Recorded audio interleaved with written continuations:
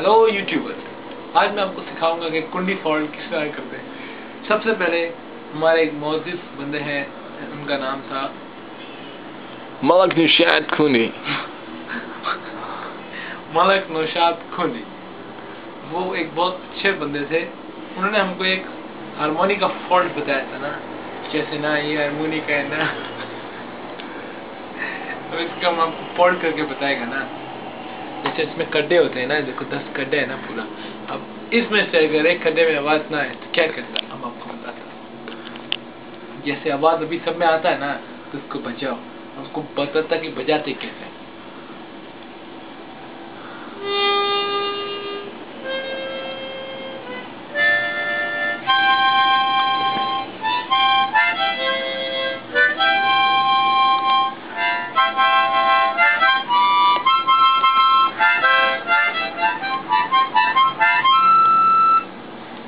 बजाना हम आपको नहीं सिखाएगा ना उसके लिए पैसा दो ना चलो निकलो